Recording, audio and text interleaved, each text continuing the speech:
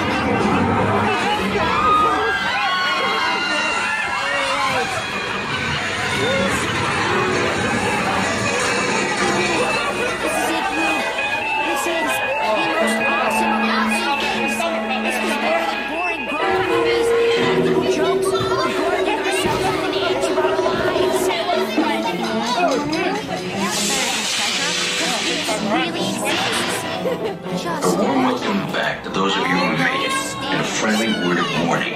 Something you won't find in any guide. The next time you check into a deserted hotel in the dark side of Hollywood, make sure you know just what kind of vacancy you're filling, or you may find yourself a permanent resident of the Twilight Zone. What about me? When I'm done, you walk downstairs.